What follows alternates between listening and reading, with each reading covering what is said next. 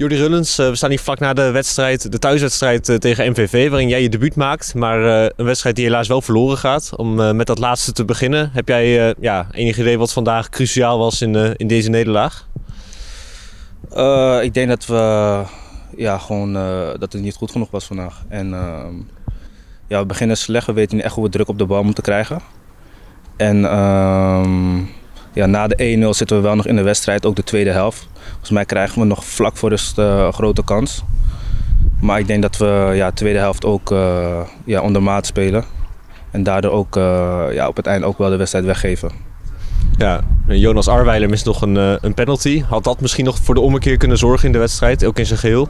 Ja, zeker. Dat had ook de 1-1 kunnen, ja, kunnen zijn. En bij de 1-1 ja, hadden we misschien door kunnen pakken naar de 2-1. Maar ja, dat is helaas uh, niet erin gegaan. Nee. Dus ja. ja voor jou uh, zal het misschien toch een dag zijn waarop jij uh, over een tijdje met plezier terugkijkt. Want jij maakt je debuut in het eerste van Almere City FC. Ja, zeker. zeker. En ja, hoe kijk jij naar je eigen ontwikkeling? Want ja, de, de, echte volgers kennen jou al uit de onder 21, waar je een vaste pion bent. Maar, Ja, klopt. Ik ben hier natuurlijk als kleine jongen gekomen, sinds de E-top. En ja, om hier nu je debuut te mogen maken is toch wel speciaal, ja.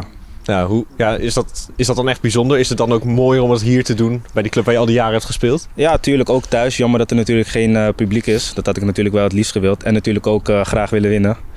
Maar uh, ja, het blijft wel ja, bijzonder. Want hier kijk je natuurlijk wel tien jaar naar uit als kleine jongen. En dat het dan vandaag mag gebeuren, ja, is wel een mooi moment voor mij. Ja. Nou, voor de mensen die jou nog iets minder goed kennen, hoe zou jij jezelf omschrijven als voetballer? Ja, ik ben eigenlijk ja, linksback CV, zeg maar. Uh, voetballende speler, meer. Linksbenig. Uh, wel een ja, redelijk goede trap. Uh, ook wel sterk in die duels. ja, dat is het eigenlijk een beetje. Nou, denk je dat jouw ja, veelzijdigheid, je kan op meerdere posities spelen, jou ook interessant maakt voor de trainer?